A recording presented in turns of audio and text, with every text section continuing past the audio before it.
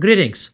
My name is Konstantin Monastyrsky. I am an expert in forensic nutrition and the author of Gut Sense How to Reverse and Prevent Constipation and Irregularity in Children and Adults. People often ask me this question Mr. Monastyrsky, why do doctors recommend fiber for constipation when Federal Drug Administration says it is against the law?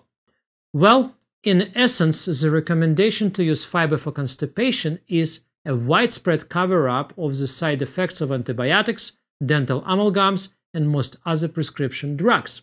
Medical doctors themselves aren't involved in this cover up, and they are just as much victims as anyone who follows this advice, because doctors also consume fiber themselves and insist that their families do the same.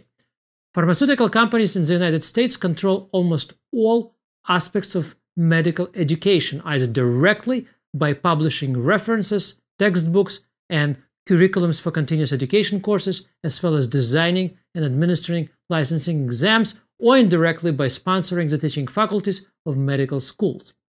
Their interests shape doctors' thinking and treatments that you get.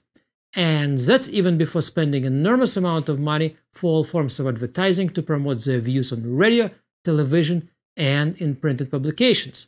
In turn, doctors recommend fiber for constipation because that is what's written up in all medical references and textbooks, even though every single piece of independent research states emphatically fiber causes constipation and related colorectal disorders, fiber doesn't relieve constipation or improves motility, and fiber is squarely behind colorectal cancers.